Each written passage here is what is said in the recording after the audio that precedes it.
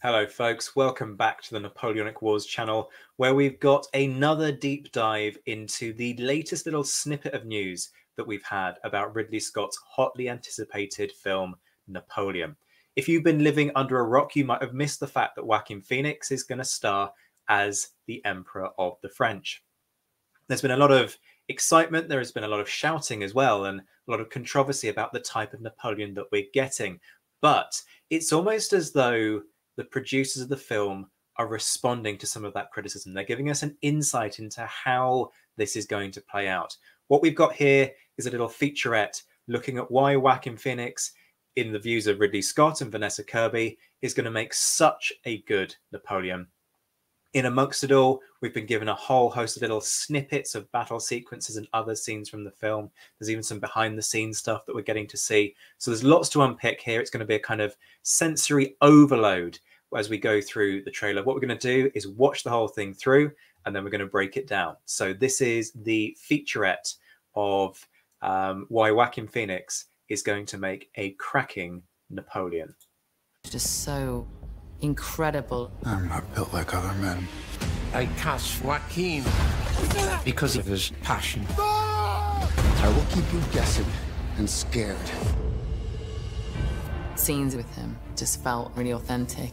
He was unbelievable at capturing the idiosyncratic psychological portrait of this unpredictable personality. When you're doing a film with Joaquin, he comes alive. He's evolving into Napoleon Bonaparte. Cut off their retreat! Better. It was really amazing to watch him touch the really dark places. I could oh, really I like see that. him tapping into that kind of psyche. My destiny is more powerful than my will. He's one of the best. I found the crown in the gutter. I picked it up and placed it atop my own head. Napoleon, exclusively in movie theaters November 20. Wow, that's a lot to unpick. Um, so let's let's rewind that and go again and start to look at um, the different scenes that we're seeing. There are a whole host of snippets lots of battle footage in there. I think kind of trying to build that hype and build that excitement for the kind of the way in which this film is going to visually pop. So let's rewind the tape and uh, start to break it down piece by piece. It's just so incredible.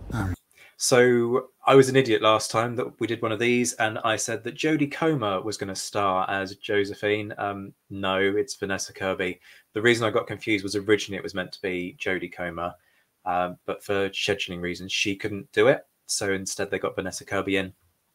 The the casting of Vanessa Kirby has irritated a few people. Nothing to do with Jodie's ability as an actress; she's fantastic. But it's that age gap. So Josephine was six years older than Napoleon in reality. So not a massive age gap, especially not during that period, because you'd have like men who were 20 years older than their wives. So not a big deal in that period.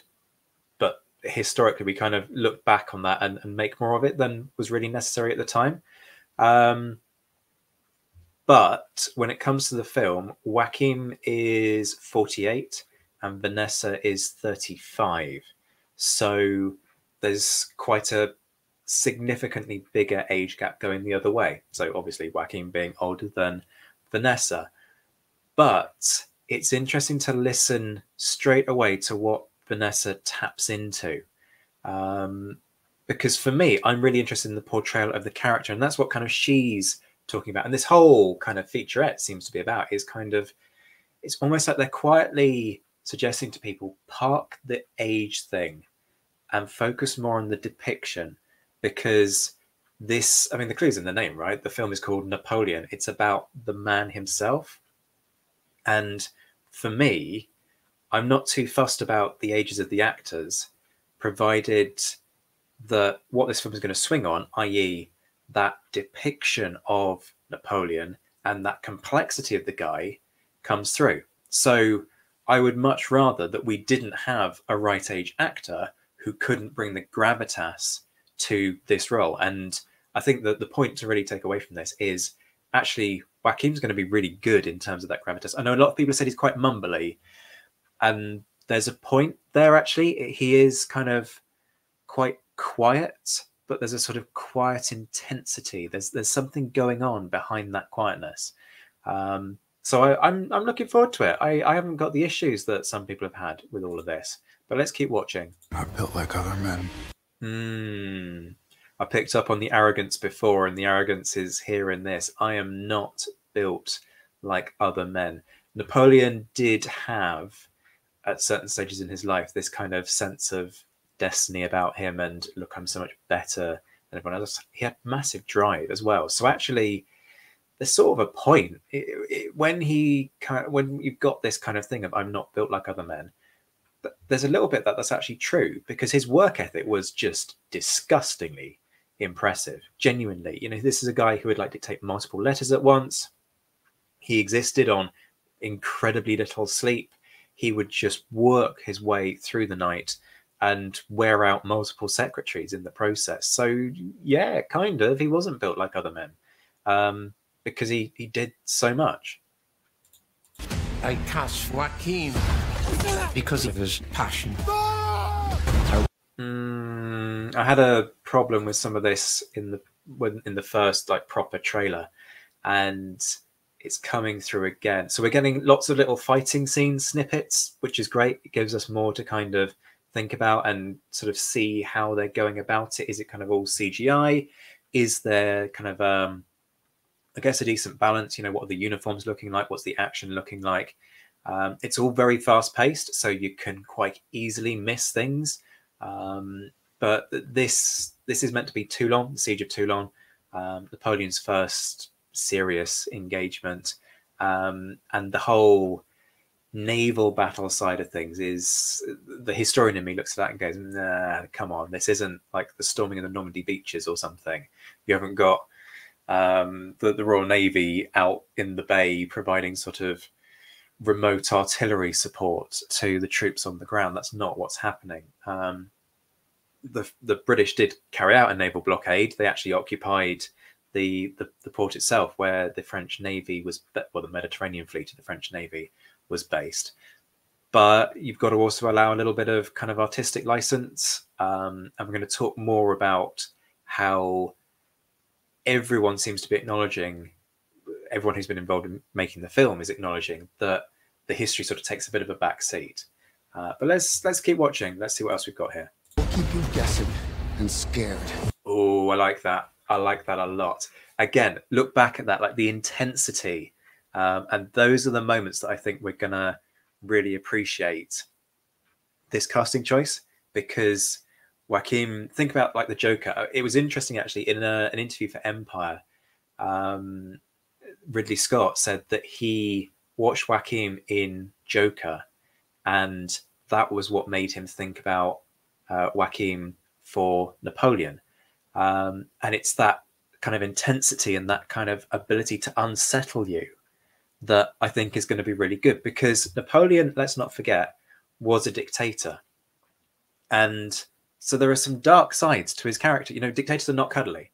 Um, and what we're seeing in that snippet that we've just seen is he's wearing his first consul jacket. So that we're probably looking at that kind of transition from him being first consul towards becoming first consul for life and then going on to become emperor.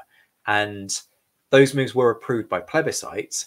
The numbers were rigged. There's like a whole thing going on there, um, and they were massively inflated. People just like started adding zeros on the ends of returns. The entirety of the French army was just assumed to have voted in favour of what, whatever Napoleon wanted. So it was dodgy in terms of the democracy, but despite that, there was actually a majority support amongst the population for Napoleon's moves it was just inflated to make it look even more impressive and create this impression that everyone was backing Napoleon. Um, but what that therefore means is that because we're seeing this kind of threatening, this domineering, this aggressive, ultra intense kind of don't mess with me or I will end you, Napoleon, we're having to think about sort of the warts and all depiction of the guy. You know, we're not just getting the sort of lazy, easy, let's all just shout Vive l'Empereur at the screen for 90 minutes, um, we're having to think about the fact that there's a lot more to this guy than just respecting his military skill. And that's what I'm really looking forward to from this film that kind of deep dive into what it's like to be inside Napoleon's head.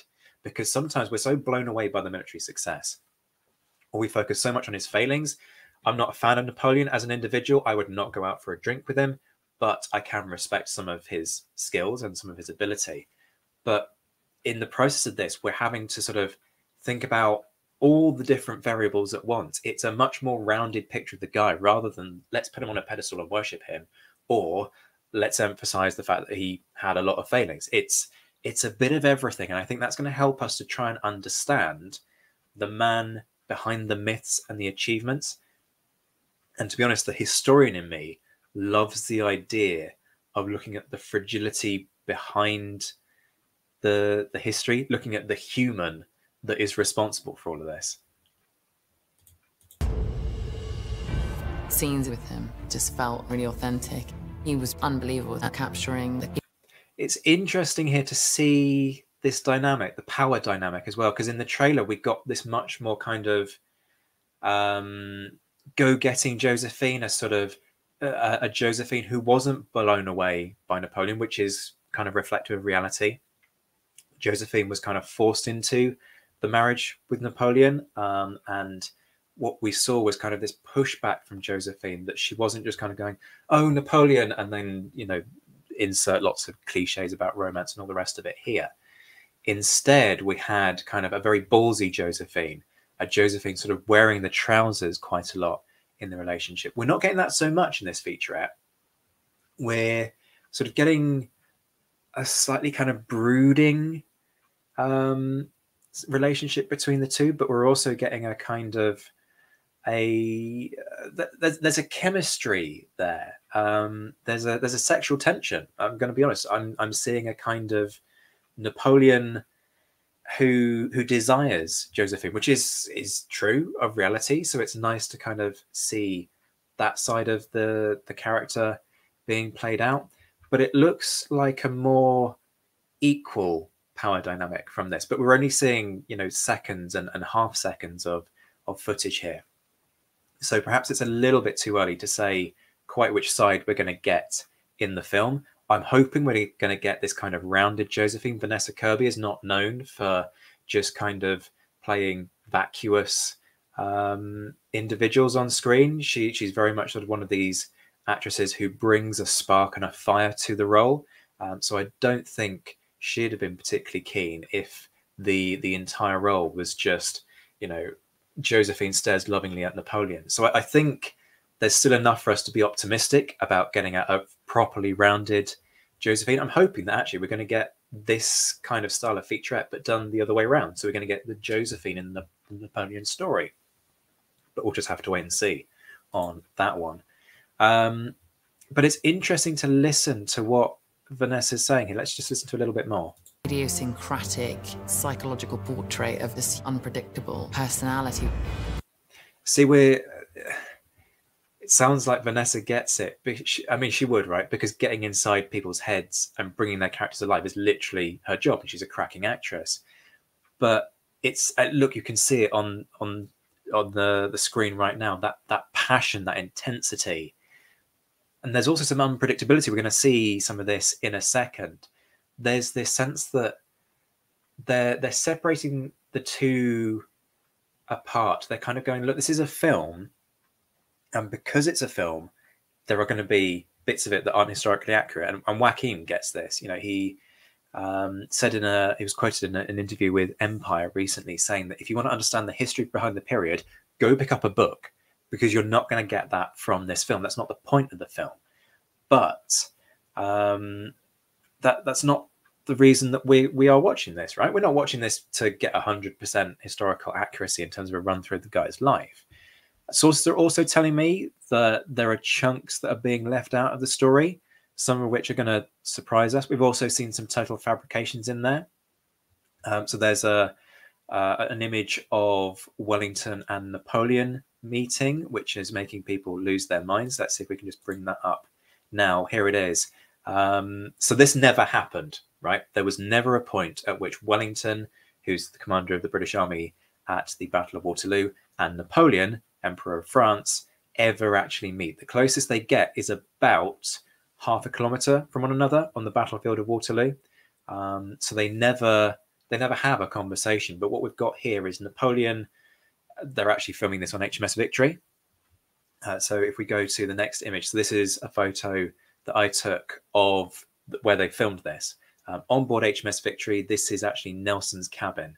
So there's an interesting kind of triangle going on there of Wellington, Nelson, and Napoleon. Um, would the ghost of Nelson have liked the fact that they filmed a scene with Napoleon in his cabin on HMS Victory? I'm not sure, but that's that's a whole other thing. So um, this is where they they filmed it. It's on HMS Victory in the admiral's cabin, but it never happened. So they're depicting Napoleon on board HMS Bellerophon after his final defeat at Waterloo, as he's about to go into exile on St Helena. But this pipe that you can see in the background made people absolutely lose their minds, probably more than Napoleon meeting Wellington, um, because you know they didn't like edit it out with CGI or, or AI or whatever it is that you'd need to use to get rid of it. Um, but Victory's a working ship, so you kind of need to have pipes in there. I mean, that, that's what it looks like, people. What, what are you going to do about it? Um, the bigger issue is is this meeting because that could be a problem in terms of how many liberties are they taking with the storytelling.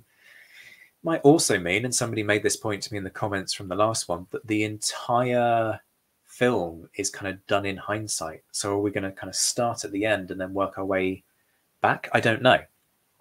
Until we've seen the film, we we can only guess. But this this is a problem when it comes to the history. But just take a look at the still, the the power dynamic here. You know, Napoleon sat down, he's having dinner, he's in control, he's not deferential to Wellington, despite Wellington having beaten him. Um, so, in the way in which we're seeing this Napoleon come through, I've got really high hopes.